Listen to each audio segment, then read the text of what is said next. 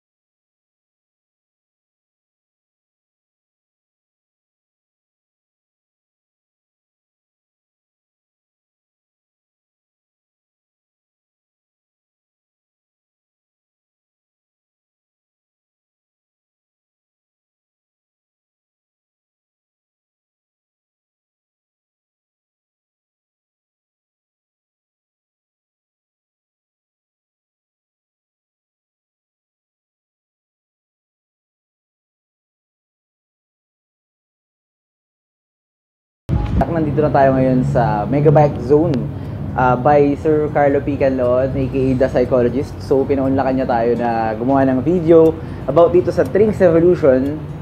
So, Sir Carlo, shoutout sa'yo. Sobrang thank you sa opportunity.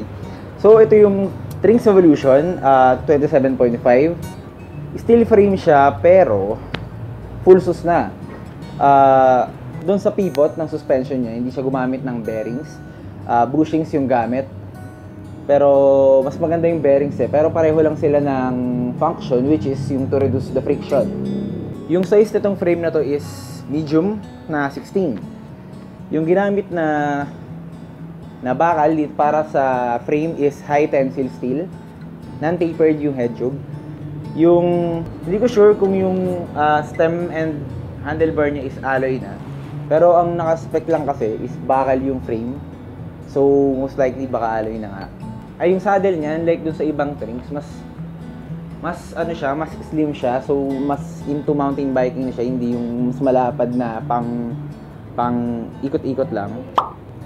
Ang shifter niya ay Shimano STF 31 o yung non-series na uh, combo shifter na. Pwedeng sa V-brake pero pang mechanical brake, pang mechanical lang talaga siya. Yung FD niya is Sunrun SR SR Sunrun. Real derailleur naman niya ay Tourney TZ. Tourney TZ na 7 speed.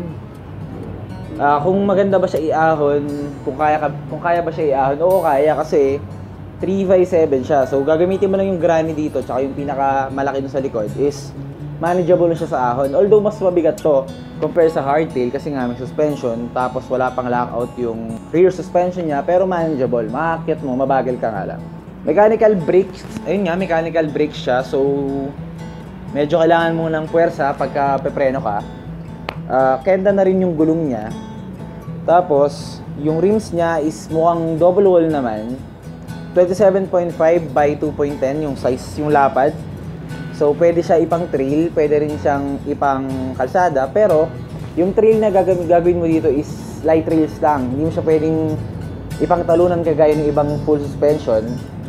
Though, yung geometry niya is hindi naman talaga pangtalunan kasi kahit bakal siya, yung uh, clearance nitong gulong sa frame is sapat lang para sa XC. So most likely recreational and XC riding yung pwede magawin dito pero hindi mo siya pwede pang karera kasi medyo mabigat nga siya kasi steel frame. Pero kung, kung gusto mo, manageable, kung malakas ka naman, bakit hindi?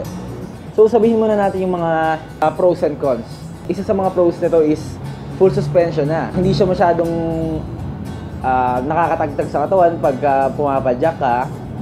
Ah, hindi mo rin kailangan na laging tayo ng tayo sa saddle mo kada may humps. Kasi nga, tatalbog na yung likod niyan.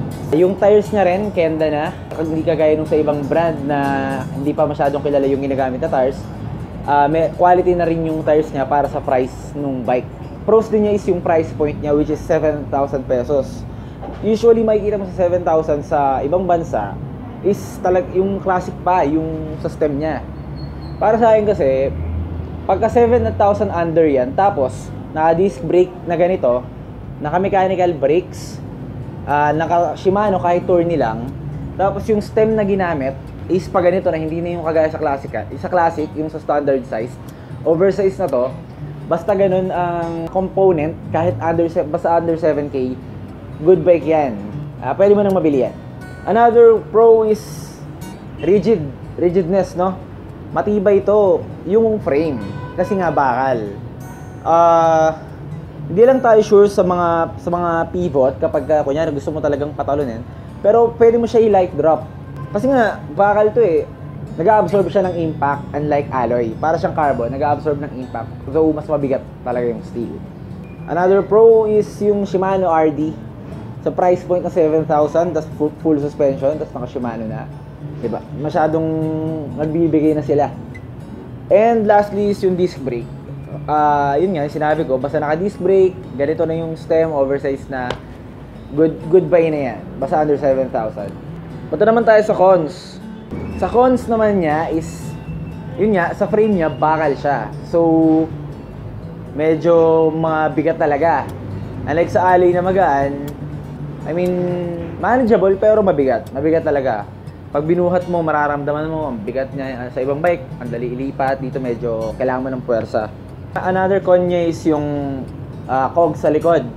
1428T lang siya. So, hindi mo magagamit yung fastest cog sa likod, which is yung 10 and 11T. Most commonly, yung 11T. Hindi mo rin magagamit yung pinaka, yung at least, yung sa mga pang-ahonan talaga na teeth, which is 36 pataas. Or yung iba nga, 42 na. Pero pwede mo naman siya i-upgrade. Though, threaded type pa yung hubs niya. So, i-upgrade mo rin yung hubs niya if ever. Isa pa is wala siyang lockout sa fork. Ah, yun yung pinaka hinahanap ng mga biker pag naghahanap sila ng fork. May lockout na sana. And mas maganda sana kung ah, kasi ang, ang madalas na ginagamit sa mga entry level na bike is SR, XCM, XCT, XCR. Ah, mas maganda sana kung nakaganon na pero kasi magmamahal siya. So kapag ito, okay naman na, okay, okay, okay lang naman siya kasi nga sakto lang naman siya para sa discipline ng bike ito. Hindi rin siya internal cabling. So, medyo prone sa damage pero hindi ka naman ano eh, hindi mo naman siya pang babaragan kasi nga ah, parang sa akin pang stroll stroll lang yung dating niya. Tapos last ah, yung isa pa is since bakal siya kakalawangin siya eh. So tamang maintenance lang, tamang pag-aalaga lang, tatagal tong bike na to. Yun, ing- ingatan mo lang na hindi kalawangin, linis, pag naglilinis ka, dapat tamang linis lang. Maganda siya para sa price range niya, talaga. May mga dapat ka lang i-upgrade. So, pag in-upgrade mo na yung mga bagay na yun, medyo gaganda yung bike. Pwede mong i-upgrade yung re- rear suspension if ever gusto mong mas maganda. Pero, i-advise ko lang, hindi na. Kasi kung kung ang discipline mo naman pala is um, kakarera ka, wag itong bike na to yung bilhin mo kung pangkarera yung gusto mo. Para sa akin, pang recreational to eh. Kunyari, ah mayroon kang non-cyclist na parent, let's say yung dad mo gusto niyang mag-bike, or ikaw, ikaw, gusto mong mag-bike na hindi ka matatagtag sa kalsada, ito yun, sakto tong bike na to kasi may rear shock siya. Tapos, mas malambot din siya, hindi siya mas ma-hard sa katawan ng tao. So, so yung mga upgradables nga dito is, one is yung fork. Palitan mo siya ng kahit mga XCR lang, maganda na yun. Ah, makakabili ka nun mga 2.5 hanggang 3K. Ah, XCR yung fork, tapos pwede mong palitan din yung group set, pero kahit hindi na rin, para sa akin talaga yung bike na to is not for sports. Yung mga gusto talagang magbaragan. Kasi kung mag-sports ka, bakit bibili ka pa ng ganito? Kung kung upgrade ka ng Deore, yung mga ganyang upgradean, medyo pricey yun eh. So, tingin ko dapat pag bibili ka ng mga ganun, yung, yung bike, yung frame na bibilin mo is ah, makakatapat dun sa presyo ng mga bibilhin mo. Siyempre, di yun, mas mahal pa yung, pa yung group set mo kaysa sa buong bike mo, di ba? Yun, palitan mo lang yung fork. Hindi ka komportable dun sa ibang components, palitan mo rin. Pero para sa akin, yung fork lang talaga yung dapat palitan. Kaya palitan mo lang siya ng XCR, so okay na yung bike. Ah, para kanino ba tong mga bike na to? Yun nga, sinasabi ko, hindi siya pang karera. Hindi siya para dun sa mga gustong kumarera ng XC. Though, although pang XC yung frame niya, ah, para siya dun sa mga mga kunyari, tatay nga natin na gusto mag-bike na hindi natatagtag yung katawan or ikaw, gusto mo. Tapos yung rear shock niya is ano to? Kejeng Kejeng suspension. Di ko alam kung other company nun. So, hindi na natin to na test drive, ano? Kasi test bike subos na. So, mga bentables na lang to. So, hindi na natin to pwede pakialaman para ipang bike. So kung naghahanap ka ng bike shop somewhere dito sa Rizal, ah maganda magpunta dito sa Mega Bike Zone or sa Skylark yung sa Cainta, basta sa, kahit sa dun sa tatlo na yan, sa Muzon, dito sa Binawanan, tsaka dun sa Cainta. Kasi dito sa bike shop nila, pareho lang ng presyo ng mga bike na binibenta sa Quiapo. Since yung mga bike nila dito, let's say, kunyari yung Foxter Princeton 2.1 na 8,500 plus, 8,600 yata sa Quiapo, 8,600 din dito. So, ba't lalayo ko pa kung meron naman na dito, di ba? So yun lang ano, mabilisang bike check lang tayo. Kung nagustuhan yung video, like nyo na, and then subscribe na rin kayo sa channel ko para makakita pa kayo ng ibang content like trails or pagbalik natin ng Quiapo or another bike check and bike reviews. Yun lang, salamat sa panonood. Ride hard but ride safe mga kapadyak.